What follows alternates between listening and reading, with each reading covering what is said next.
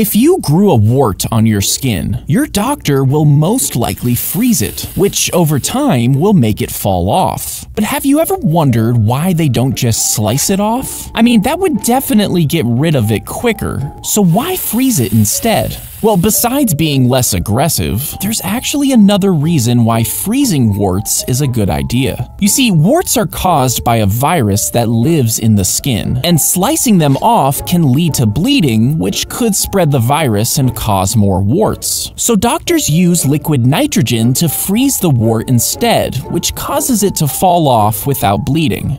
If you look inside a wart, you'd see these tiny black dots. And a lot of people think that these are seeds that can grow into more warts, but that's not actually the case. You see, as the wart begins to rapidly grow on the skin, the body responds by increasing blood supply to the area. But as the blood vessels extend, they sort of plug up because of how fast the wart is growing. And this makes them look like tiny black dots.